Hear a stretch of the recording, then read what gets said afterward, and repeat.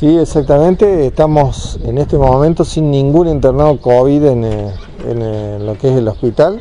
Eh, solamente queda una señora que, lleva más de un mes, 46 días internada, que se recuperó de, la infección COVID, pero queda con secuelas, por lo, por lo tanto sigue todavía con una internación prolongada.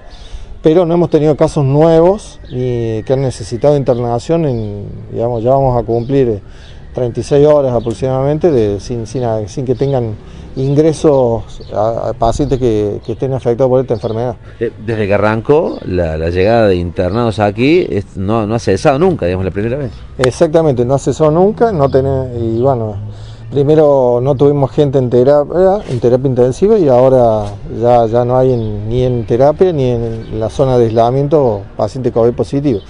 Eh, se siguen las medidas de protocolo, obviamente, los testeos, eh, pero hay eh, ostensiblemente una, baja de, la circulación viral, esperemos que se mantenga, y bueno, se ve reflejada también el número de, casos que se detectan por día y la gente que está aislada y bueno y ahora gracias a Dios lo, vemos también en las internaciones que no tenemos Así que muy positivo el dato, estamos muy contentos junto al Día de la Sanidad, así que como para festejar. Totalmente. Eh, doctor, digo, eh, ¿atribuye esto a que mucha gente ya se infectó, a la vacunación?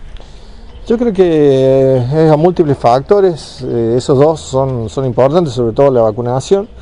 y hay otra gente que, que, sí, que tiene anticuerpos porque, porque se ha infectado.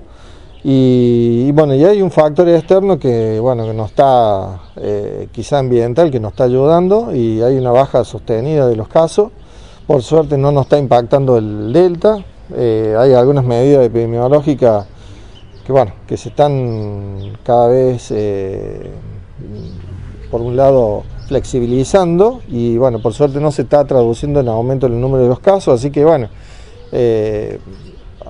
acabamos de tener una reunión con el Ministerio, por, sobre todo por la variante Delta y, el compromiso probable en, la gente de menor edad, en pediátricos y en jóvenes.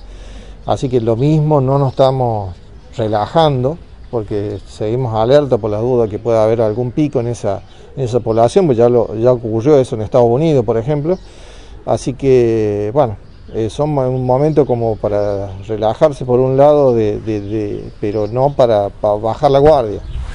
Eh, así que bueno, esperemos que esto se mantenga y, que quizás la, variante Delta esté, eh, una por las medidas, porque se hace un seguimiento de los viajeros y se, los detecta y se, guarda las medidas de aislamiento y los municipios están colaborando mucho con el testeo inicial y a los siete días de los, de los viajeros para poder liberarlos de, del aislamiento que, se les da luego de que han viajado y también porque, porque tenemos una cepa que compite duramente con, eh, la cepa delta, que es la Manaus, que nos golpea en un momento fuerte, yo creo que y ahora le hace la competencia y nos está dando como una especie de protección biológica. O sea que una cepa no deja entrar a la otra. Exactamente, es una de las teorías por la cual eh, tendríamos este mecanismo de protección y, tendríamos eh, mejor evolución que otros lugares con la, con la, cepa misma, digamos, de la Delta.